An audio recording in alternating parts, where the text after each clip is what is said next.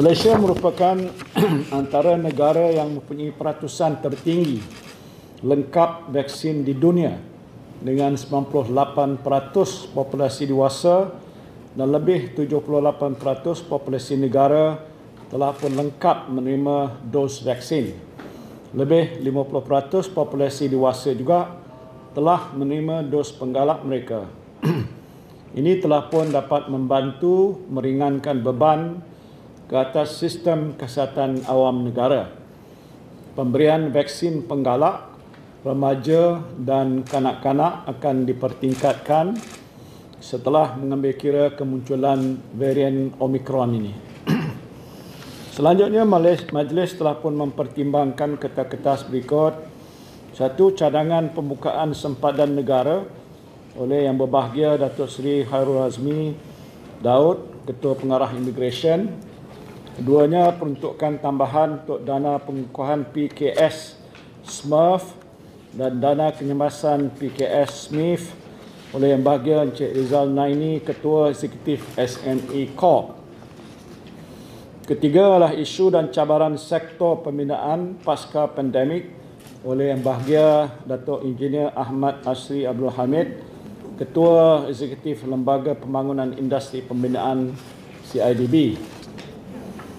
Majlis uh, Pemulihan Negara pada hari ini mengesyorkan perkara-perkara berikut supaya yang pertama supaya sempadan negara dibuka sepenuhnya dalam masa yang terdekat bagi menyokong pemulihan negara.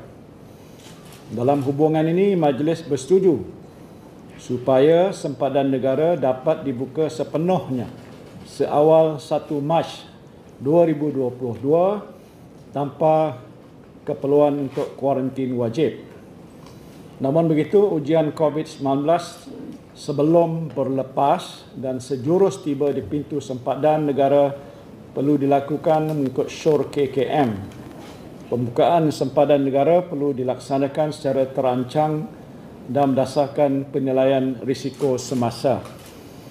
Uh, maklumat terperinci tentang bagaimana apa nama syarat-syarat tertentu SOP yang hendak ditetapkan sama ada dia ada kuarantin tak ada kuarantin dan sebagainya itu akan diumumkan dalam masa yang terdekat oleh Kementerian Kesihatan Malaysia ya. Kerana yang Muhammad Menteri Kesihatan telah beritahu tadi kalau kata nak terpilih Omicron dah ada di seluruh dunia dalam masyarakat. Jadi tak boleh memilih-milih. Tapi ada perkara-perkara yang akan diumumkan nanti tentang peraturan mungkin kena buat PCR test sebelum masuk dan sebagainya itu detail lah. Mungkin tak perlu kuarantin. Ada detail-detail yang akan diumum. Saya cuma mengumumkan keputusan. Dan ini bagi Majlis Pemulihan Negara satu keputusan yang amat penting dalam kita nak mengawal wabak apa nama uh, Omicron ke COVID ni menular dan daripada taklimat yang diberikan oleh Yang Berhormat Menteri Kesihatan tadi nampak sistem kesihatan awam kita masih mampu untuk menguruskan ini. Kita dah ada banyak pengalaman kan baik dari segi katil hospital, ICU, doktor dan sebagainya semuanya ada dan sampai sekarang ni pun walaupun kes meningkat kapasiti yang ada itu dapat menampung apa ni uh, bilangan yang agak meningkat dan bertambah. Uh, jadi sebab itu bila ada keputusan hari ini uh, majlis amat uh, sukacita bermakna maka proses pemulihan ekonomi negara itu akan dapat dipercepatkan lagi. Ya, maknanya pelawat asing boleh masuk, pelabur-pelabur boleh datang, Uh, pelancong-pelancong akan meningkat dan industri pelancongan negara boleh pulih balik industri apa aviation ni Sri uh, Tony Fernandez ada sini. Uh, bermakna Asia boleh terbang semula. Saya bukan nak kempen untuk dia punya Asia. Contoh je lah. Industri airline boleh hidup balik peniaga-peniaga di kedai-kedai yang bergantung pada pelancong boleh meningkat dan sebagainya. So ini yang kita pentingkan. Dan sebab itu kita percaya keputusan ini adalah satu keputusan yang amat baik.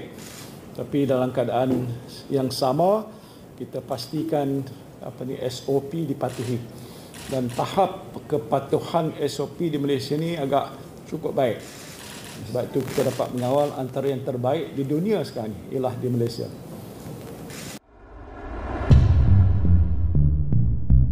Dengan cadangan supaya Malaysia membuka sepenuhnya sempadan negara tanpa keperluan kuarantin wajib seawal 1 Mac depan.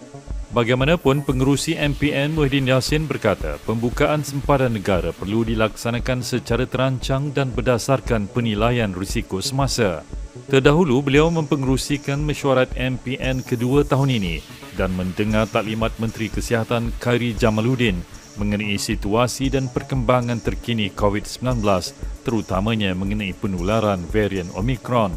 Menurutnya, walaupun terdapat peningkatan kes harian, Strategi pemberian dos penggalak dan langkah kawalan Kementerian Kesihatan berjaya menurunkan kemasukan kes kategori 3 hingga 5 ke hospital.